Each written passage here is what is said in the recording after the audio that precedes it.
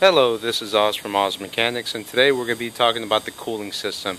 Ever have your car overheat, um, or you just did a change like water pump, thermostat, or any cooling system, a component, hose, whatever. Um, bleeding the vehicle is really important, and if you do not bleed the vehicle, you might have some overheating issues. Uh, but if it keeps on overheating after the bleeding issues, you probably have a bad head gasket or faulting component. But right here, I'm going to teach y'all how to bleed a car, and uh, it's not too bad. Uh, I have a tool right here that makes it a lot easier, and I'm going to give you steps on how to do this. So here we go. So first of all, we got to have our coolant. What I do, rather than buying the 50-50 mix and normally save a dollar or two, I just buy the full concentrated and basically that gives me two uh, two gallons of 50-50 so I just get the full concentrated find another can uh, put 50% of that concentrated add 50% uh, water. Now we have two gallons of 50-50 little trick. Um, and then the next thing that we have I bought this tool. Part number 24680 Lisle the spill free funnel. It's a nice tool I would highly recommend if you if you own a shop, please get you that. It's going to help you a lot. And uh, we have our vehicle here. So essentially, what we're going to do, I actually jacked up the front end of the vehicle. And there you go, jacked it up. So it has it kind of has an inclination right there.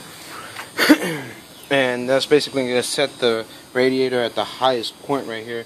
And what air does, it you know travels up. So this is going to be our uh, little cheat sheet right there.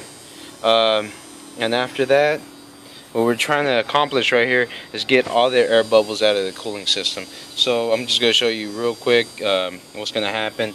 I hooked up the Lisle tool right here. Added some coolant.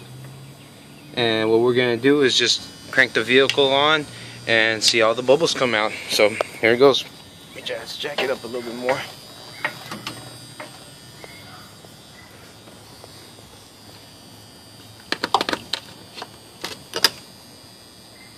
And today is a beautiful day here.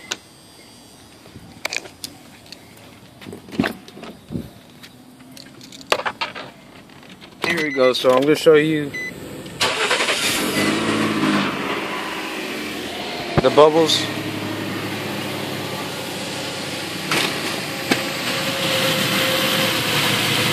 So we're going to let the engine heat up and hopefully we see air bubbles coming out.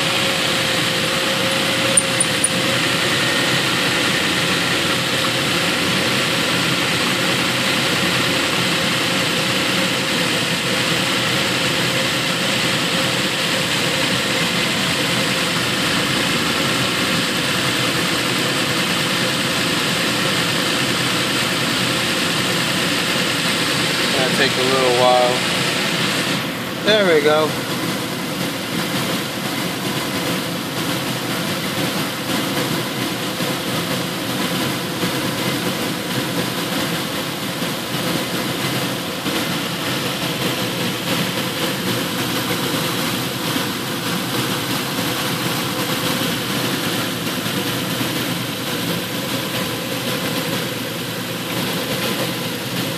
So why remove the air bubbles?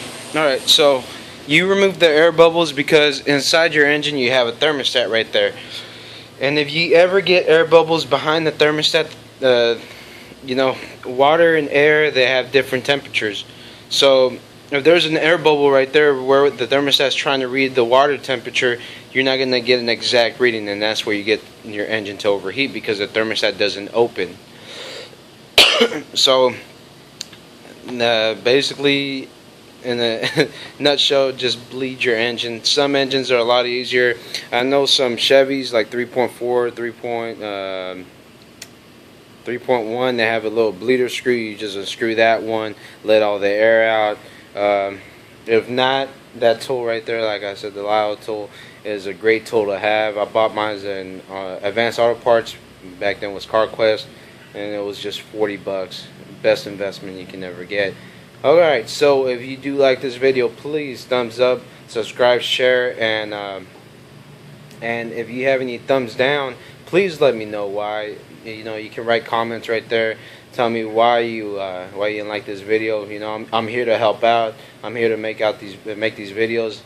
Uh, I might not be as professional as possible, but I'm a mechanic, so I'm just uh, just trying to do this to uh, to help out others because uh, when I started off, I actually had was watching Scotty Kilmer, Scanner Danner, you know those kind of people, uh, Brian's uh, Brian's Mobile, you know, good good people out there, man. So I'm just trying to try and give back, and um, if this if this helps out one person, that's all I need, man.